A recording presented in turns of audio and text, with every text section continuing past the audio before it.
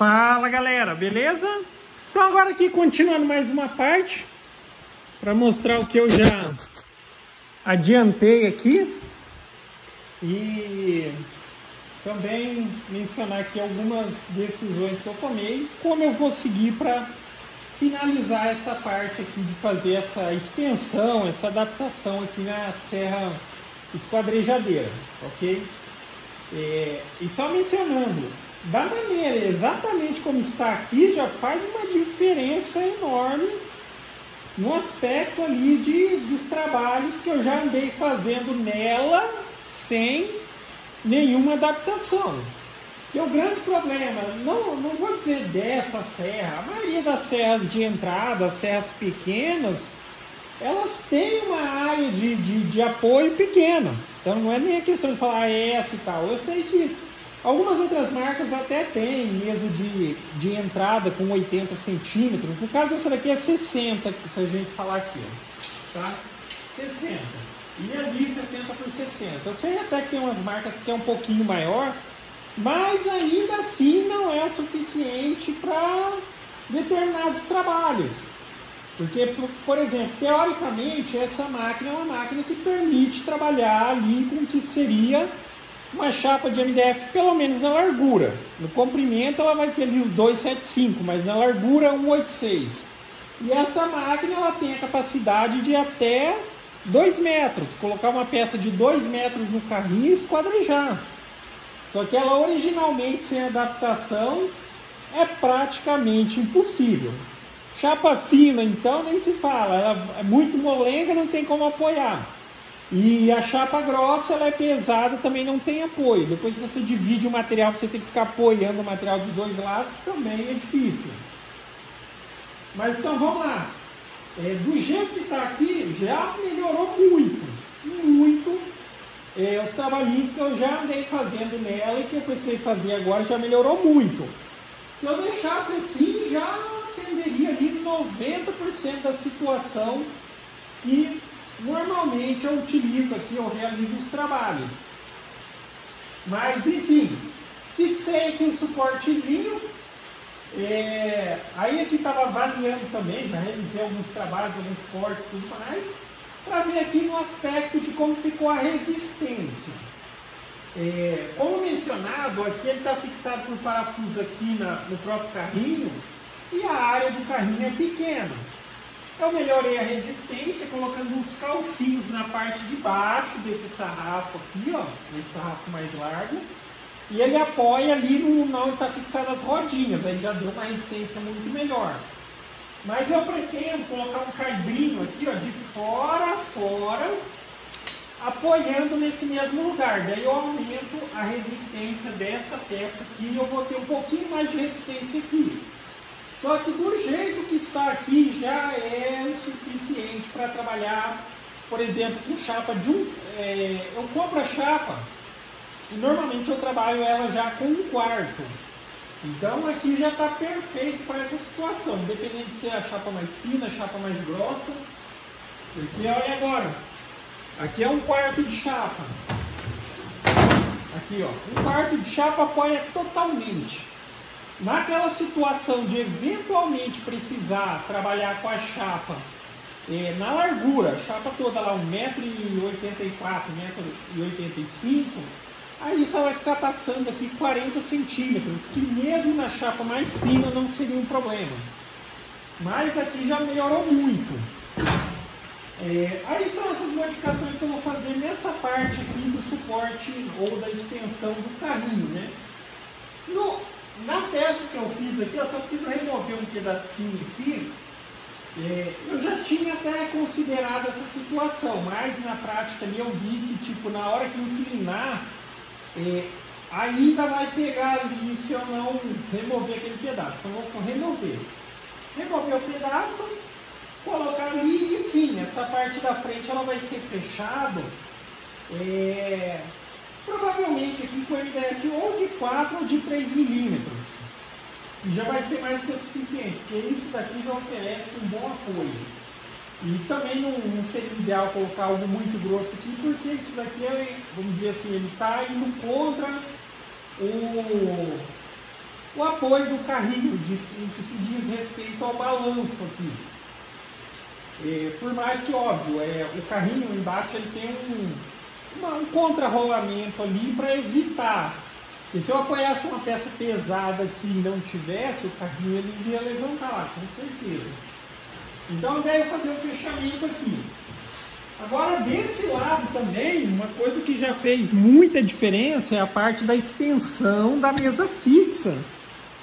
E desse lado aqui eu vou optar por de fato, aqui vai ter pezinho fixo.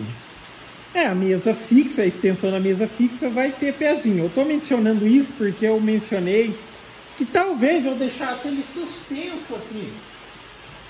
Fixando ali dá para fazer tranquilamente, mas a questão é que quanto mais para a beirada que você apoia, mais ele tensiona.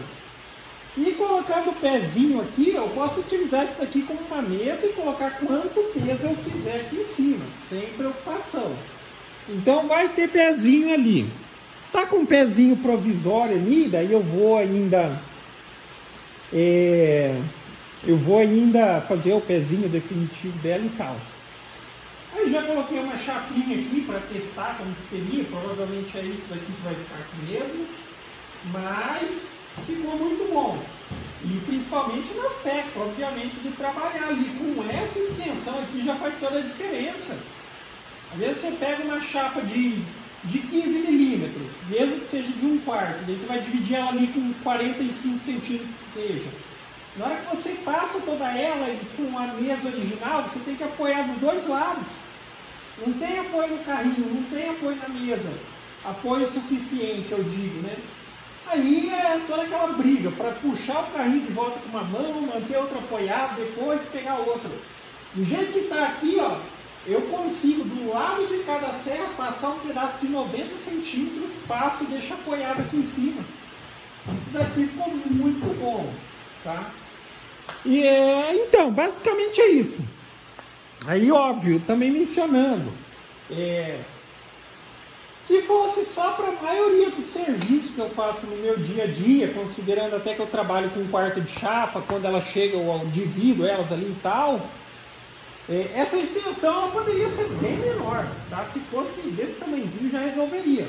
Mas aqui eu quero deixar possível a possibilidade de que numa eventual situação eu consiga trabalhar com um quarto de chapa, um quarto de chapa não, colocar uma chapa inteira aqui na largura e dividir ela no meio que seja, tá? Ou fazer ali também as tiras de 1,80m. Porque esse carrinho aqui, ó, esse carrinho ou essa essa máquina, se a gente considerar que o curso máximo de, de, de corte dela, ó, aqui ela tá dando, ó, mais de 2 metros. Aqui, beirando aqui 2 metros e seis, mais ou menos. Ou seja, eu consigo colocar uma peça de 2 metros ali em cima e esquadrejar ela. Mas é aquela questão, é na teoria, é uma máquina para trabalhar com isso, mas sem adaptação, sem complemento, é praticamente impossível. Geralmente as empresas elas elas já, já vendem, né? Elas sempre acabam oferecendo ali tipo equipamento básico que talvez dependendo do que você faça atenda o seu dia a dia. E assim, é muito. É, até então, a minha serrinha está ali ainda, eu não consegui vender ela. Já veio umas pessoas ver, mas é, ainda ela não foi. Mas para o meu dia a dia, aquela lá atendia. Aí começou a aparecer muito é, um trabalho ou outro que já não dava para fazer ali. E eu precisava fazer na serra de bancada e todo aquele trabalho. Aí surgiu a necessidade de uma serra maior. Só que assim, novamente, a maioria dos equipamentos de, de, de, todas as marcas, quando a gente falar aquela que. Ela sempre tem os modelos, os menores, maior e tal. Mas os menores, mesmo que teoricamente ele diga, olha, você consegue cortar 1,90m, 2 metros e tal, sem complemento, esqueça.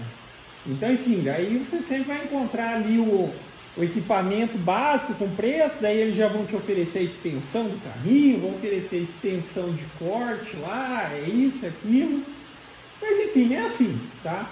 Mas é, aí eu vou dar andamento aqui no que falta, que a gente vai conciliando trabalho com, com essas modificações pelos testes aqui que eu já realizei. Está super aprovado até aqui, então aí é só concluir. Aí assim que possível eu posto aqui mais uma continuaçãozinha do, do processo. Aí, acho que eu não mencionei, mas aqui, ó, desse lado do da extensão fixa aqui, aí vai receber um pezinho.